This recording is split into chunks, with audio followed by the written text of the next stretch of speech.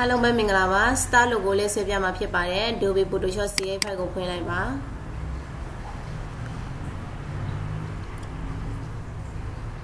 ပွင့်လာပြီဆိုလို့ရှိရင်တော့သူ့ကိုစာရွက်တွေရယူရမှာဖြစ်ပါတယ် file တော့မယ် new international paper ကိုရွေးပေးပါဒီနေရာလေးမှာ site ကတော့ A4 site insert ကိုရွေးမယ် parcel in 8 bit resolution မှာတော့300 RGB color white လိုချင်တဲ့ site ကိုရပြီဆိုလို့ရှိရင် okay နှိပ်မယ် ဒါဆိုလို့ရှိရင်တော့ A4 စာရွက်လေးတစ်ရွက်ရလာပါပြီ A4 စာရွက်လေးရလာပြီဆိုလို့ရှိရင်တော့သူ့ကို ellipse tool လေးနဲ့အဝိုင်းလေးတစ်ဝိုင်းဆွဲမယ်အဝိုင်းဆွဲပြီးပြီဆိုရင် keyboard ပေါ် control ရဲ့ T ရဲ့ကိုနှိပ်မယ်လိုချင်တဲ့ site ကို width နဲ့ height မှာရရမှာဖြစ်ပါတယ်3 in height မှာလည်း3 in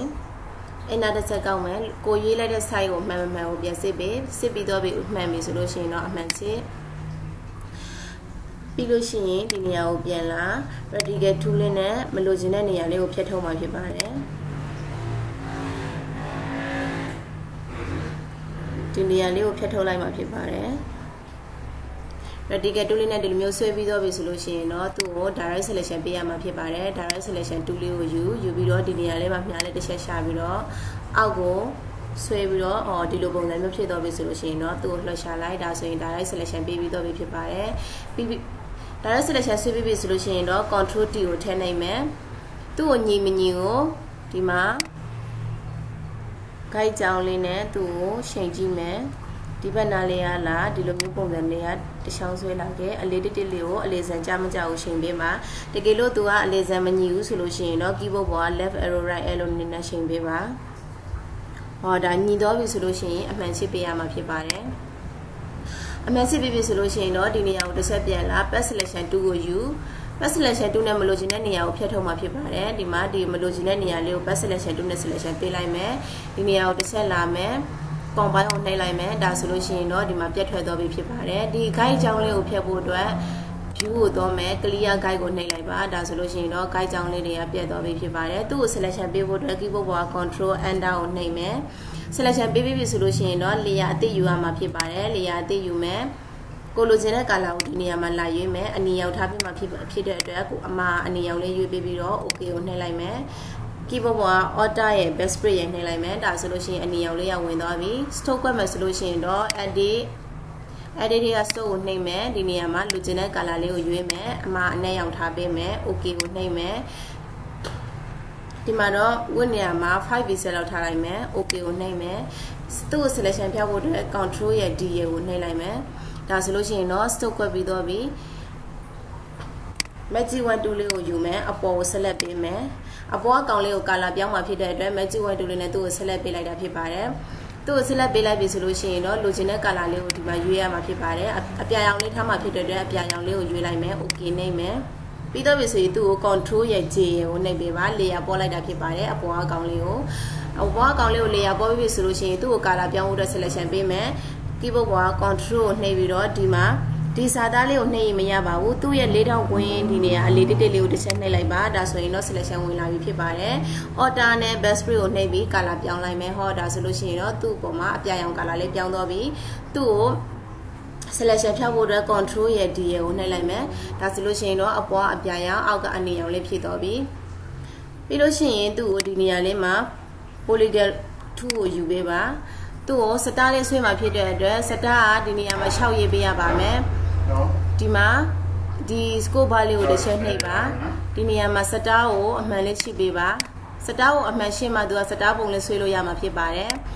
ရပြီဆိုလို့ရှိရင်တော့ဒီအပေါ်လေးမှာစတားလေးဆွဲမယ်နော်ကြည်ကြည်ပါစတားလေးဆွဲမယ်ဟောဒါဆိုလို့ရှိရင်တော့ဂျီဘွက်လေးတစ်ပွင့်ရလာပါပြီရလာပြီဆိုလို့ရှိရင်ဒီဂျီဘွက်လေးကို selection ပေးရမှာဖြစ်ပါတယ် control ရဲ့ enter ရဲ့ခောက်ပြီး selection ပေးလိုက်မယ်သူ့ကိုလည်းနေရာအသစ်ယူရမှာဖြစ်ပါတယ်ဒီ selection ပေးပြီးပြီဆိုလို့ရှိရင်တော့နေရာအသစ်ထည့်ယူမယ်လေယာတစ်ထည့်ယူမယ်တော့ဒါဆိုလို့ရှိရင်တော့ star ကိုလေယာယူပြီးတော့ပြီဆိုလို့ရှိရင်ဘေးအယောင်ဘာအယောင်လဲထည့်ချင်လဲပေါ့လိုချင်တဲ့အယောင်လေးကိုဒီနေရာမှာတော့ယူရင်အဲ ဒီမှာအနေရောင်လေးယူမယ် okay ကိုနှိပ်လိုက်မယ် keyboard မှာ alternate backspray ကိုနှိပ်တယ်ဆိုတာဒီနေရာ foreground color လေးဆိုလို့ရှိရင်ဒီနေရာကိုဝင်တော့မှာဖြစ်ပါတယ်ဒါကြောင့်မလို့နှိပ်ကြည့်မယ်ဖြစ်ပါတယ် foreground color လေးမှာအနေရောင်လေးယူပြီးပြီဆိုရင် keyboard မှာ alter ရဲ့ backspray ကိုနှိပ်လိုက်ပါဒါဆိုလို့ရှိရင်တော့အနေရောင်လေးဝင်တော့ပြီဖြစ်ပါတယ်သူ့ကိုလည်းဒီနေ့ထိုနေ့၎င်းပါပဲ stroke question လေးကွက်ပေါ့နော် stroke question ကိုဆိုလို့ရှိရင်လည်းမိမိသဘောအတိုင်းပါပဲကွက်မယ်ဆိုလို့ရှိရင်လည်း edit edit ကနေ stroke စတုတ်တွေမှာကိုလိုချင်တဲ့ color လေးကိုကွက်ပေးလိုက်အနီရောင်အမေးရောင်လေးဆိုအမေးရောင်လေးပေါ့ကိုကြိုက်တဲ့ color လေးကိုကွက် okay ဒါမှကြည်ပွင့်လေးမှာကြတော့နည်းနည်းလေးပေးသေးလိုက်မယ်ဒီဖိုင်းနေရာလေးမှာသူ့ကို2လောက်ပဲထားပေးလိုက်မယ် okay ကိုနှိပ်မယ် selection ဖြောက်ဖို့တဲ့ keyboard ပေါ် control ရဲ့ DA ကိုနှိပ်လိုက်ပါဒါဆိုလို့ရှိရင်တော့ star လေးဆွဲပြီးသွားပြီဒီ star ကိုအလေးလေးရွှေ့ဖို့အတွက်ဒီအပြာရောင်လေးကို selection ပေးရမှာဖြစ်ပါတယ် keyboard ပေါ် control နှိပ်ဖိပြီးတော့ဒီအပြာရောင်လေးကိုအလေး လေးတော့ကွင်းအလေးတက်တက်လေးကိုတစ်ချက်နှိပ်လိုက်ဒါဆိုလို့ရှိရင်သူ့ကို selection ဝင်သွားပြီ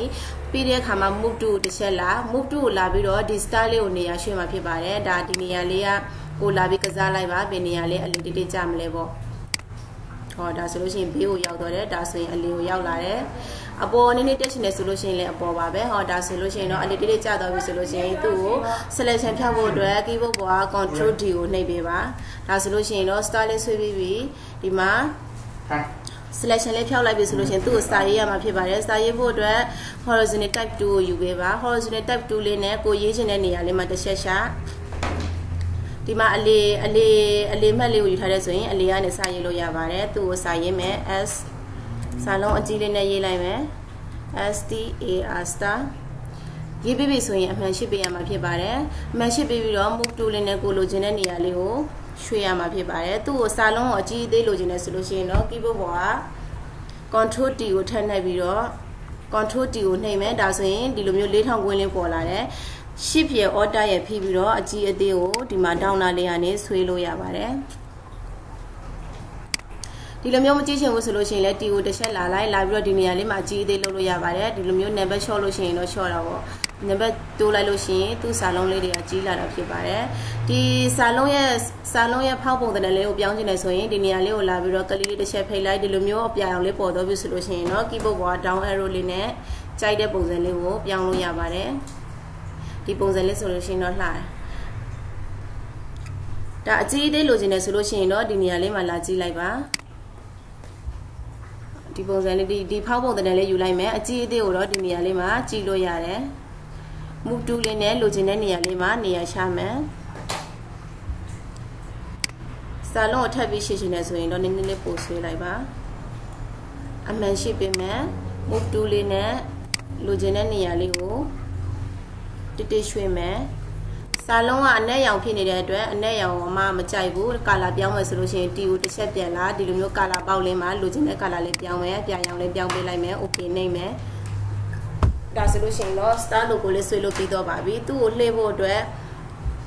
အပေါ်တစ်ချက်နှိပ်ပါ keyboard ပေါ်က shift ကိုနှိပ်ပြီးတော့ဒီမှာ star ကိုတစ်ချက်နှိပ်ဒါဆိုလို့ရှိရင်တော့ဒီမှာ selection ဝင်အကုန်လုံး layer layer တွေကို select ပေးပြီးတော့ပြီဖြစ်ပါတယ်ပြီးတော့အခါမှာ keyboard ပေါ်က control ရဲ့ T ရေကိုနှိပ်ပါဒီမှာ down နားလေးကဒီလိုမျိုးမြှောက်ကောက်လေးပေါ်လာပြီဆိုလို့ရှိရင်တော့သူ့ကိုပေးလေးလို့ရပါတယ်ပြီးလို့ရှိရင်ကိုကြိုက်ပြီဆိုလို့ရှိရင်တော့အမှန်ရှိပေးလိုက်ပါ ဒါဆိုလို့ရှိရင်တော့ star logo လေးဆွဲပြီးတော့ပြီဖြစ်ပါတယ် background ဆိုလို့ရှိရင်လည်းဒီလိုပါပဲ background ထပ်ထည့်ရှင်သေးတယ်ဆိုလို့ရှိရင်တော့ background တော့ယူလိုက်ပါ file open လိုချင်တဲ့ background လေးကိုရွေးပြီးတော့ထွေးလို့ရပါတယ်မိမိနှစ်သက်တဲ့ background လေးကိုရွေးလာပြီးတော့ထည့်ပေးပါပ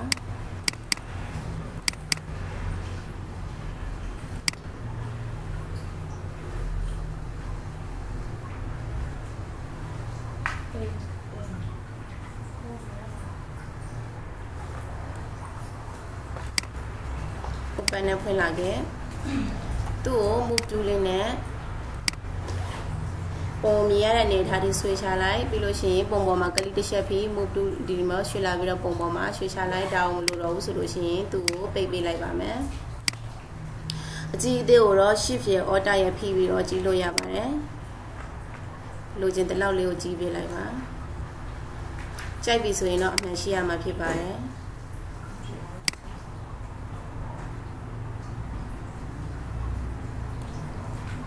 ဒါဆိုလို့ရှိရင်တော့လိုချင်တဲ့ logo လေးကိုဆွဲပြီးတော့ပြီဖြစ်ပါတယ်သူ့ကိုသိသူ့ကိုသိမ့်မယ်ဆိုလို့ရှိရင်တော့ဒီမှာ layer တွေကိုအကုန်လုံးပေါင်းပေးရမှာဖြစ်ပါတယ် flatten image ကိုနှိပ်ပါ flatter image ကိုနှိပ်လိုက်လို့ရှိရင်ဒီမှာ layer တွေအကုန်လုံးပေါင်းပြီးတော့ဖြစ်ပါတယ် file cs desktop ကိုယူပေးပါဒီနေရာမှာတော့ jpeg ကိုယူရမှာဖြစ်ပါတယ် save ဒီနေရာမှာတော့ quality မှာ9ဖြစ်နေတယ်ဆိုလို့ရှိရင်တော့ set 2ကိုထားပေးပါ okay ကိုနှိပ်မယ် ဒါဆိုလို့ရှိရင်တော့လိုချင်တဲ့ logo လေးကိုဆွဲလုပ်ပြီးတော့ပါပြီ။